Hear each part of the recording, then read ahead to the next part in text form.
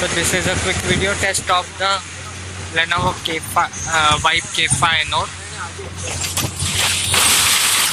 So this is little bit bouncy road and it is it has great stabilization. And it is stabilizing the footage very nicely. And now you can see the white balance adjustment is also a little bit aggressive but not so bad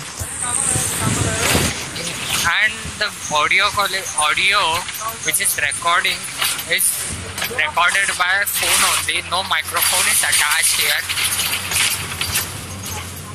And you can manually adjust the focus that's great. So this was quick video tour if you like the video please like share thumbs up and subscribe. Thank you